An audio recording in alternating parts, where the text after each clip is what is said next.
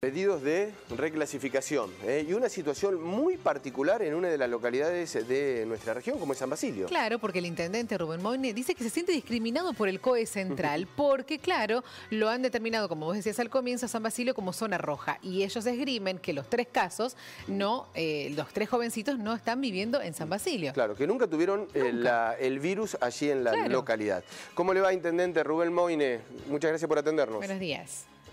Hola, buen día, un gusto en saludarlos. Bueno, sí, la verdad es que sí, que este, es una situación injusta para nosotros, porque bueno, estas tres personas que llegaron del exterior eh, nunca llegaron a San Basilio, nunca tuvieron contacto con familiares, directamente llegaron al aeropuerto de Rosario, viajaron en un auto particular a Córdoba, transcurrieron toda la cuarentena en Córdoba y también este, se hicieron el hisopado allí y la enfermedad, este, la enfermedad o el contagio también estuvieron en un departamento de Córdoba, o sea que Claro. nunca estuvieron aquí en San Basilio después de haber vuelto del exterior, ni tuvieron contacto con ningún familiar ni persona del pueblo.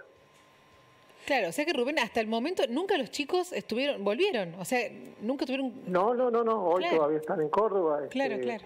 cumpliendo con la cuarentena obligatoria y el aislamiento obligatorio que es consecuencia de haber dado positivo el coronavirus. Así que bueno, este, no entendemos por qué este San Basilio se lo catalo- tal- cataloga como zona roja, siendo que nunca hubo un caso aquí en la localidad, ¿no?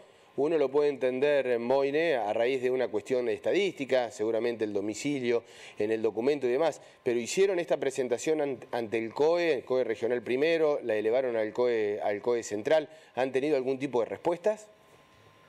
Sí, este, hemos este, elevado todos este, los reclamos, toda la documentación requerida por el COE regional, de ahí sabemos que se envió anteayer todo al COE central. Y bueno, eh, también nos avisaron que ayer se iba a tratar en las reuniones que tiene el COE central este, todas las tardes en Córdoba, pero este, todavía no tengo una notificación, o sea, estamos con la esperanza de que se haya tratado ayer y se haya sacado a San Basilio de esta zona roja que justamente estamos, este, no por estar o no estar en una zona roja, Claro, sino no, no. Este, por las consecuencias que trae, como Por es las este, actividades, claro. la imposibilidad de trabajar a los albañiles, de abrir las tiendas, del trabajo profesional de la gente del pueblo, que son todas flexibilizaciones que venían con las últimas este, resoluciones del COE central de la provincia de Córdoba. Me imagino, ¿no? Cada uno de esos sectores que usted estaba mencionando, intendente, eh, golpeándole la puerta allí de la intendencia, en ese contacto que hay en las localidades, en el mano a mano, en el cara a cara, pidiendo, por favor, ¿no? Que, que se reclasifique esta situación. Seguro, porque este, son todas situaciones este, de gente que vive el día a día, que todavía hace un- desde la primera cuarentena que no puede desarrollar sus tareas. Y bueno, Sí. uno es entendible que este, esta gente esté esperando trabajar, no puede vivir de este, módulos alimentarios ni de la ayuda de la gente, son gente que siempre ha trabajado y bueno, este, esta calificación errónea para nosotros este, nos perjudica al pueblo y sobre todo a esta, a esta gente que, que tiene que volver a sus actividades como corresponde, ¿no? Porque bueno, este, vemos que todas las localidades de la zona están trabajando, están aplicando los protocolos y nosotros todavía no podemos Claro. avanzar en nada. Rubén, ¿cómo se está desarrollando la cuarentena en San Basilio? ¿La gente es responsable? Sí, la gente es responsable, la gente este, este, ha respondido bien.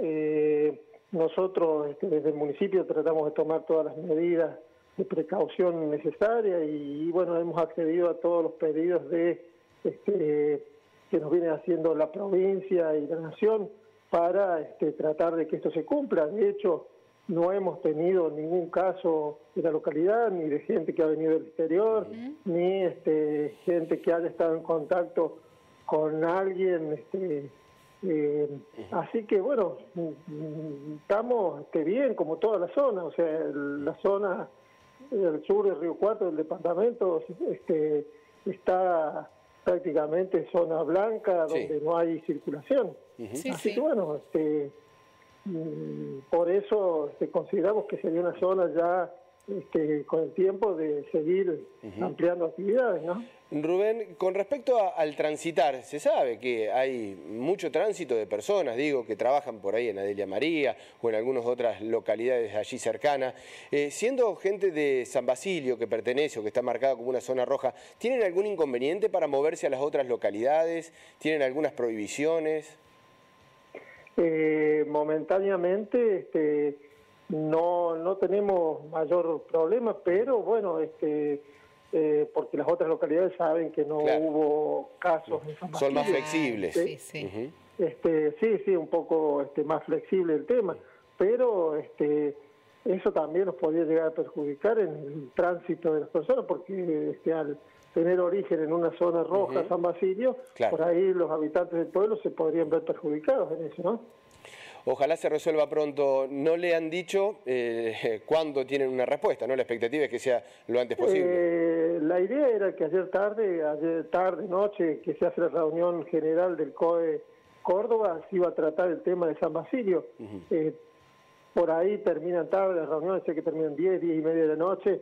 Y bueno, en una de esas nos encontramos con la grata sorpresa de que hoy nos dicen que salimos de la zona roja y bueno, podemos empezar a aplicar los protocolos, a las, habilitaciones para obras privadas y todo lo que conlleva estas nuevas este, resoluciones del Código Central. Sí nos aliviaría muchísimo, pero bueno, estamos a la expectativa.